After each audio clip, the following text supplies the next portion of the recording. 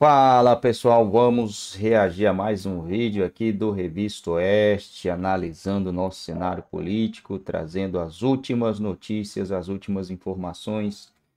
E ele, o homem, o barbudinho, falou de novo, agitou o mercado, o dólar subiu novamente, né? Meu Deus, o homem é brabo, tem um poder gigantesco aí no mercado financeiro é o Barbudinho, né? Ele fala, o dólar vai à lua, o dólar tava chegou hoje a 5,50, tava 5,40 e pouquinho, deu uma aumentada, a tendência é que amanhã ele continue aí, amanhã não, né?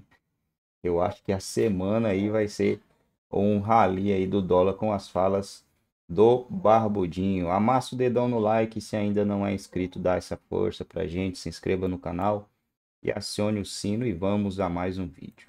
Você mencionou no bloco anterior, a gente vai trazer aqui também esse trecho, porque durante a entrevista para a TV Record, uh, Lula voltou a defender a regulação das redes sociais para recolher impostos das big techs.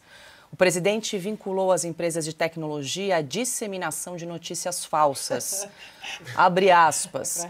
Não é possível que essas empresas continuem ganhando dinheiro disseminando mentiras, disseminando inverdades, fazendo provocação, campanha contra a vacina, sem levar em conta nenhum compromisso com a verdade. Fecha aspas. Segundo Lula, a falta de regulação das redes sociais coloca a democracia em risco e acusou as plataformas de lucrarem, abro aspas aqui novamente, com a disseminação do ódio no Brasil e no mundo inteiro. Fecho aspas. O presidente declarou ainda que planeja conversar com o ministro da Justiça, Ricardo Lewandowski, sobre uma possível retomada do projeto de lei que trata do tema no Congresso ou se apresenta uma nova proposta. Tá aí então, Ana. Comentamos no bloco anterior Sempre sobre volta. a interceptação da licitação da Secom, né? Sempre volta. E aí, Lula falando da importância de se regular as redes sociais e taxar também, né? A... nome da verdade. É... Depois eles reclamam dos memes. Mas, é, mas o, o curioso é que essa entrevista foi ontem, né? Isso. Ontem, dia 16 de julho. O atentado do Donald Trump foi dia 13. E quem mentiu? O tempo todo. Quem, quem escondeu? Quem desinformou? Quem propagou o ódio? É impressionante como. Primeiro, que o discurso do Lula é um cheiro de naftalina, né? Aquela coisa parada no tempo, só falta ele falar é, o presidente estadunidense. Só está faltando isso. Porque parado no tempo, não conversa com a realidade, não conversa com a, com a própria globalização, que é bem diferente de globalismo, não entende que para o dinheiro circular é preciso diminuir impostos. Isso é Economy 101, né? A curva de Laffer está lá na primeira página da, de qualquer livrinho de Economy for Dummies, né? Um governo que não corta, um governo que não corta na própria carne, que aumenta impostos. Aliás, o falando, né, já que Donald Trump é um dos assuntos da semana, em 2017 ele passou uma reforma tributária. É, os republicanos tinham a casa e o Senado passaram uma reforma tributária assim, corte. Vamos cortar impostos, não é essa nossa reforma aí é, bem mentirosa, não. E muitos uh, economistas hoje dizem que se não fosse a reforma de 2017, quando veio a pandemia de 2020, os Estados Unidos entrariam num colapso econômico e só não entrou porque de 2017 a 2020 rodou muito dinheiro, como disse o Lula aqui, circulou muito dinheiro, presidente, porque houve corte de impostos corte de impostos, mais dinheiro no bolso do povo, o povo põe na economia, ele não coloca debaixo do colchão. Ele compra, ele circula o dinheiro na economia. E regulação de Big Techs, depois do 13 de julho, passamos quatro horas aqui no Outra Coisa, mostrando a vergonha que os grandes veículos de imprensa passaram no 13 de julho com desinformação, distorção e ódio. muito ódio ao presidente Donald Trump. E para fechar, Paula, o que o Lula disse basicamente, né, sobre primeiro essa sanha, né, censora aí de querer calar as pessoas e sobre os impostos, ele basicamente disse: "O dinheiro é seu, mas eu gasto como eu quiser". Caute, para fechar aqui, você quer trazer uma declaração do Jorge Messias, o chefe da AGU, Advocacia Geral da União? Eu estava dando uma olhada na, no Twitter para ver o que está acontecendo, né? E eu percebi que não tem limite ao delírio desse governo e de seus membros, né? O Jorge Messias, que é o advogado-geral da União, ou seja, é uma figura institucional muito importante, ele foi cotado para ser ministro do Supremo, Sim. teve a pachorra de escrever no Twitter quem financia os memes. Esse é o nível da, do problema cognitivo de muita gente lá em Brasília. Quem financia a indústria de memes? Seriam os mais humildes contemplados na reforma tributária. Contemplados o quê, cara pálida, que você vai aumentar 26,5% é, os impostos de todo mundo? A gente vai falar disso daqui a pouco, especialmente dos mais pobres, porque o IVA é muito regressivo. É o imposto que os mais pobres pagam. Mas tudo bem ou seriam os mais ricos alcançados pela tributação de muito, depois de muitos anos de benefícios. Mentira também, porque o Simples Nacional e outros não são é, atingidos. Mas enfim, vale a reflexão. Acho que os mais pobres não gastariam seus recursos atacando os que defendem. Vamos aprofundar a justiça fiscal com firmeza e correção. Esse é o nível do advogado geral da União que temos no Brasil. E depois vocês se surpreendem dos memes. Assim, uma risada você sepultará. Isso aí é o nível do ridículo, de falar quem financia os memes. E a única coisa que você sabe fazer é gritar taxem todos. Esse é o lema desse governo, não é Brasil, União, não é ordem e progresso, mas o lema do Brasil é taxem todos. E você não sabe nem fazer uma reforma decente, porque isso aí é um absurdo que está sendo aprovado lá em Brasília.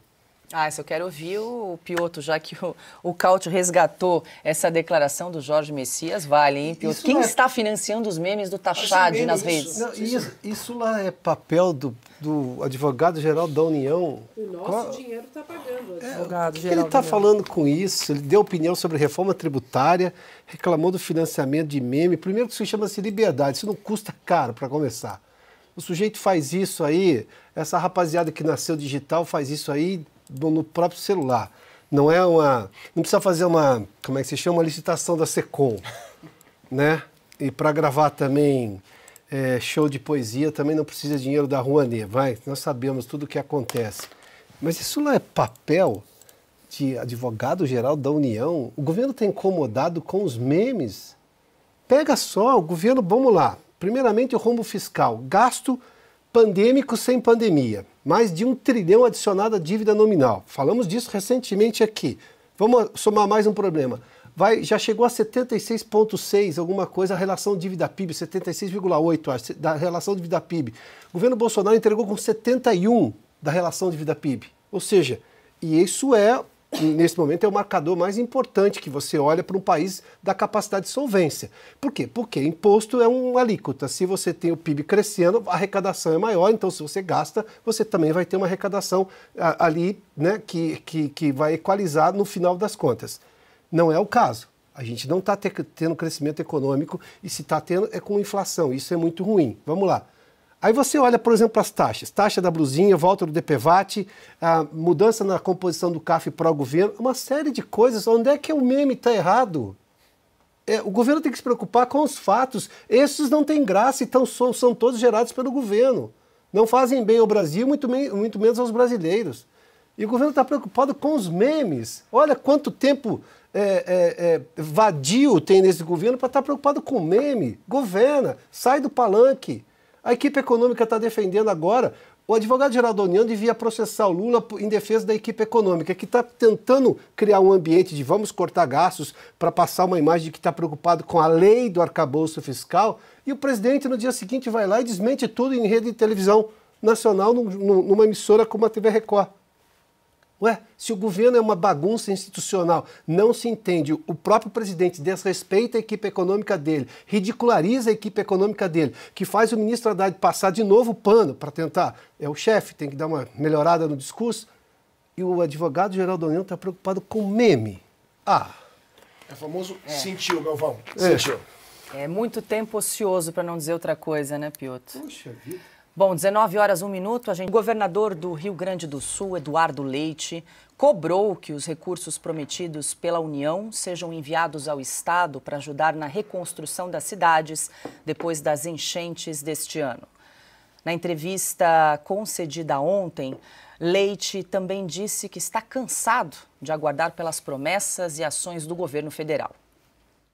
E Claro que a gente gostaria de fazer ainda mais em relação à economia do que somos capazes, mas a gente sabe que boa parte dos recursos no Brasil é concentrado na União. A arrecadação se concentra em Brasília. E, infelizmente, Brasília não nos alcançou tudo o que nós precisamos até agora. Por isso, nós estamos fazendo um esforço uh, enorme aqui do governo do Estado para colocar do nosso próprio tesouro recursos para alavancar financiamentos e investimentos no setor privado. E por isso que nós, depois de aguardarmos muitas promessas que foram feitas, que inclusive retardaram a nossa ação, porque em muitos momentos disseram: não, vai vir um recurso a mais. Não, o governo vai colocar um pouco a mais para poder compensar ali. Ah, veio 30 milhões para o Banrisul, mas deve vir um novo anúncio. E ficamos esperando, né, porque se afinal viria um anúncio outro, nós não colocaríamos o recurso nosso uh, porque não faltariam outros lugares para a gente colocar também na reconstrução do Estado os recursos do Estado. Mas nós cansamos de esperar e estamos colocando então os recursos do Estado aqui para poder ajudar o setor privado nesse reerguimento. Na segunda-feira, Leite já havia subido o tom contra o governo Lula. Em entrevista à Veja, o governador gaúcho declarou que a ajuda federal, abre aspas, não chega como a propaganda de TV mostra. Fecha aspas. Adalberto Piotto, muito boa noite, seja bem-vindo. Esse é um assunto que nós não devemos deixar morrer, né, Piotto? Afinal de contas, essas enchentes aí que atingiram o Rio Grande do Sul em maio ainda, ainda deixam rastro de destruição no estado. Muita gente segue desabrigada, tentando reconstruir a vida depois uh, dessa calamidade pública. E a gente vê aí o governador uh, Eduardo Leite reclamando da liberação, da lentidão na liberação dos recursos federais e também da dificuldade de acessar programas que foram anunciados aí uh, pela União de emprego e renda para que o estado possa realmente se recuperar da calamidade pública. Ele ainda reclama da questão da concentração de recursos da União e que os, o dinheiro não chega na ponta para quem precisa. Paula, boa noite, boa noite, Ana, boa noite, Augusto, Cauti, a todos vocês que nos acompanham.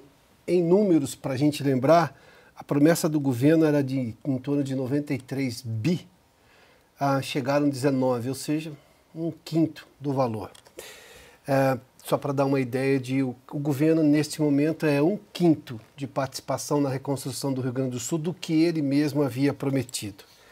Ah, o, governador Eduardo Leite tem uma concorrência lá e que é exatamente o ministro da reconstrução nomeado por Lula, o Paulo Pimenta, e até agora o governo não deu essa resposta a essa reclamação pública que fez o governador do Rio Grande do Sul. Mas se a gente retomar lá atrás como foi a reação do governo, a reação efetiva do governo, a calamidade que se abateu sobre o Rio Grande do Sul depois de todas aquelas enchentes, gastou-se muito no discurso, questões climáticas, mudanças climáticas. De efetivo foi um quinto do recurso que precisaria. Porque, independentemente das razões, o governo vai querer vender essa tese das mudanças climáticas e tudo mais, você tinha algo que era concreto, não tinha dúvida os empresários precisavam de crédito, precisavam de ajuda, o Estado precisava de ajuda, as pessoas precisavam de ajuda. E agora é uma ajuda financeira, inclusive, porque você precisa recuperar os negócios. Os negócios recuperando-se, recupera-se os empregos, recuperando-se os empregos, a renda das pessoas e a autonomia das pessoas. Não, o governo Lula lá atrás já deu a mostra do que seria exatamente a relação dele com o Rio Grande do Sul. Fez marketing, você se lembra daquela cena que nós mostramos aqui? Estava lá o fotógrafo da presidência orientando o Lula como ele devia andar entre os escombros, aquela situação toda. Imagina só, um governo que foi incapaz de montar um gabinete de crise ali, por pelo menos uma semana, logo no começo. O governador Eduardo Leite está entendendo exatamente quem é o governo federal e o que é o PT no governo. Se não é aliado, não recebe. É o que está acontecendo agora. Só que independentemente de aliado ou não, lá moram brasileiros. Brasileiros nascidos no Rio Grande do Sul, que chamamos de gaúchos. Esses brasileiros estão sendo alijados da ajuda federal por incompetência, má gestão, má vontade, ou seja lá o que for. O fato é que o dinheiro não chega e essas pessoas estão dependendo disso. O Estado tem limitação de orçamento, colocou o dinheiro que podia para retomar os negócios. Sem economia retomada não se recupera um Estado do tamanho do Rio Grande do Sul, não se recupera lugar nenhum mas tudo vai demorar ainda mais. Põe na conta do Lula, do amor. É, pessoal, o Dolinha já deu uma levantada com as falas do Barbudinho. O Barbudinho, ele acha que, vamos supor, se eu tenho uma meta de gasto, e não tem problema eu ultrapassar ela. É sério. Se você tem uma meta de gasto, você tem um teto, um teto ali para você gastar você pode extrapolar esse teto para sujar seu nome, né, para sabendo que você vai sujar seu nome, sabendo que você vai causar um mal para você, para os seus familiares. Tá tudo bem? Pois é, é isso que o Barbudinho acha, né? Tá tudo bem ele extrapolar o teto de gasto, tá tudo bem. Ele, porque, pô, eu preciso de bastante coisa, hein? Só de eu olhar ao meu redor aqui, já conseguiria ver muitas coisas, né? Queria trocar o piso, queria comprar um computador melhor, queria muitas coisas, mas existe um teto de gasto que eu não posso extrapolar ele. Senão eu vou me enforcar, né, gente? É bem simples, né? Eu não quero me enforcar ah, desnecessariamente. Não é necessário.